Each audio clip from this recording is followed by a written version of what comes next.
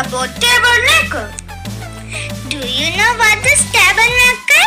When Moses was on Mount Sinai, God gave him instructions to build a place where he could live among them.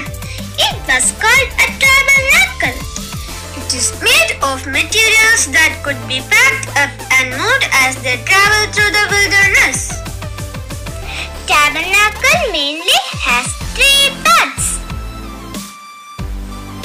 outer court,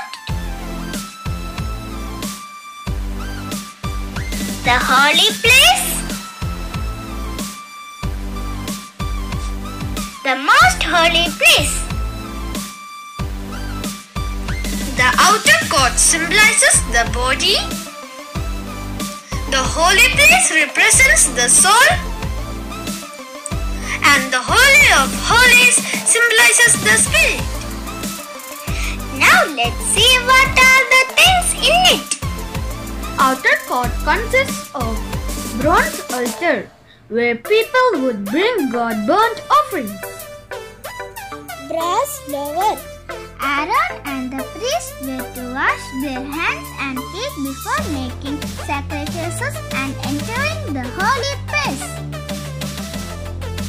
Table of showbread. Loaves of bread were an offering that all we have in a gift from God. Golden lampstand. It provides light for the holy place. Altar of incense. It was to be burning always. The smoke from the incense represented the praise of the people. Ark of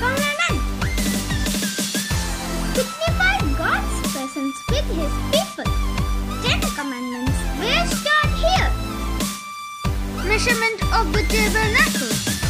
The tabernacle proper was 10 cubits wide, 10 cubits high, and 30 cubits long with its entrance on the east side.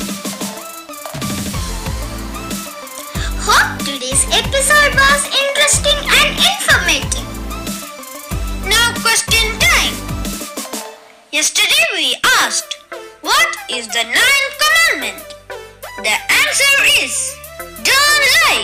or you shall not bear false witness against your neighbor.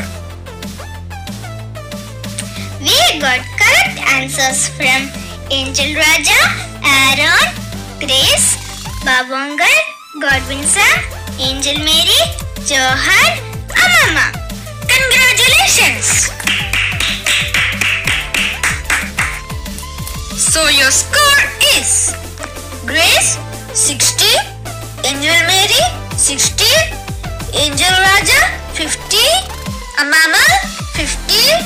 50, Godwin Sam 40, Aaron 40, Johan 40, Babongal 40, Ginu George 20, Vinci 20.